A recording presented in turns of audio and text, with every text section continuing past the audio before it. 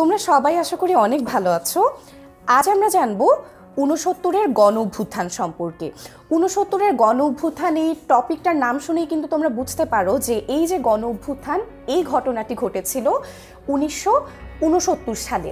এবং তোমরা কি জানো যে উনিশশো উনসত্তরের এই গণ অভ্যুত্থানটার পেছনের পটভূমিগুলো কি কি? আমরা উনিশশো ছেষট্টি সালে কি ছয় দফা দাবি উত্থাপন করেছিলাম না? এরপরে হচ্ছে গিয়ে উনিশশো আটষট্টি সালে কি হয়েছিল? উনিশশো আটষট্টি সালে আগরতলা ষড়যন্ত্র মামলায় আমাদের আমাদের যে বঙ্গবন্ধু শেখ মুজিবুর রহমান, তার সাথে আরও পঁয়ত্রিশ জন প্রগতিশীল রাজনীতিবিদকে আসামি করে একটি মামলা ঠুকে দেওয়া হলো। এবং এই যে উনিশশো আটষট্টি সালে ঘটনাটি ঘটলো, এর পরে পরেই কিন্তু আমাদের এগারো দফার কথা আমরা এর আগের ভিডিওটিতে পড়েছিলাম। এই যে পর্যায়ক্রমে কিছু ঘটনা ঘটে গেল এরপরে কি হলো জানো? এরপরে জেনারেল আয়ুব খানের পতনের লক্ষ্যে উনিশশো উনসত্তর সালে সর্বদলীয় ছাত্র সংগ্রাম পরিষদ গঠিত হলো।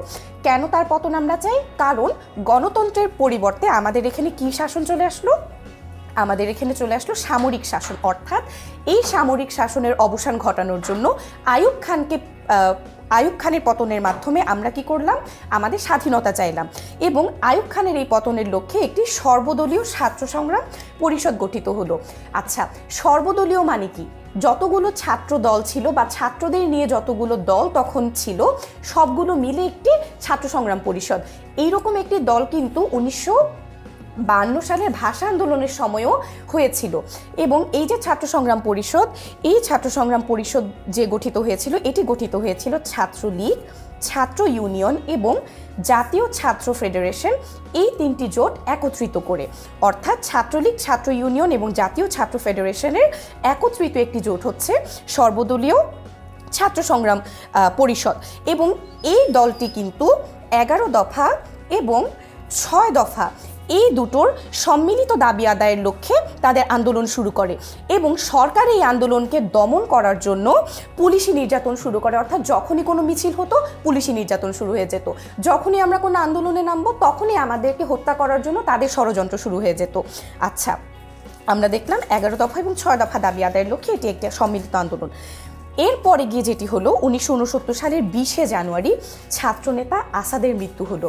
এই যে ছবিটি দেখছ, এটি হচ্ছে ছাত্রনেতা আসাদের ছবি। এবং এই যে আসাদুজ্জামান বা আমরা যাকে আসাদ নামে চিনি, তার মৃত্যুটির পরেই কিন্তু ছাত্ররা এত বিক্ষুব্ধ হয়ে গেল, সারা দেশে ছাত্রদের মাঝে এত বিক্ষোভ ছড়িয়ে পড়ল যে এই আন্দোলনটি গণ অভ্যুত্থানে রূপ নিল।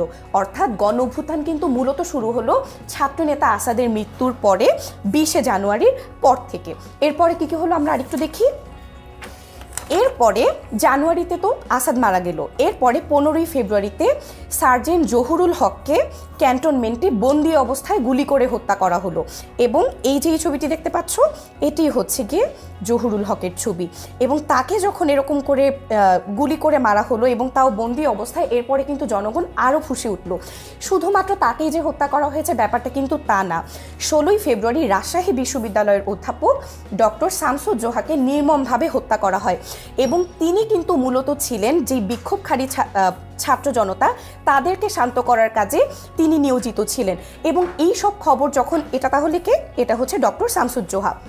এবং এই যে আসাদের মৃত্যু, জহুরুল হকের মৃত্যু শামসুজ্জোহার মৃত্যু, এই মৃত্যুগুলো কিন্তু আমাদের দেশের ছাত্ররা স্বাভাবিকভাবে কোনোদিনই নিতে পারেনি। এবং এরপরেই কিন্তু এই খবরগুলো যখন সারা দেশে ছড়িয়ে পড়ল, তখন সারা দেশে বিক্ষোভের আগুন জ্বলে উঠল। এবং সামরিক সরকার বাইশে ফেব্রুয়ারি আগরতলা ষড়যন্ত্র মামলা প্রত্যাহার করতে বাধ্য হয়। এবং যারা রাজবন্দী ছিল, অর্থাৎ শেখ মুজিবুর রহমান সহ আরও পঁয়ত্রিশ জন আসামি, তাদেরকে নিঃশর্ত মুক্তি দেওয়ার ঘোষণা দিতে তারা বাধ্য হলো এবং আন্দোলনের তীব্রতায় ভীত হয়ে ক্ষমতায় টিকে থাকার কোনো উপায় খুঁজে না পেয়ে পঁচিশে মার্চ জেনারেল ইয়াহিয়া খানের হাতে আয়ুব খানের ক্ষমতা হস্তান্তর করা হলো।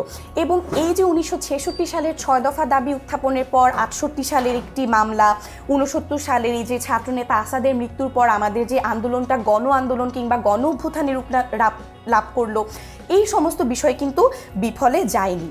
এই সমস্ত ঘটনার পরে কিন্তু আমাদের আন্দোলনে আমরা ঠিকই সফল হতে পেরেছিলাম।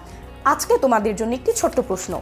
প্রশ্নটি হচ্ছে, ছাত্রনেতা আসাদ কত সালে নিহত হন?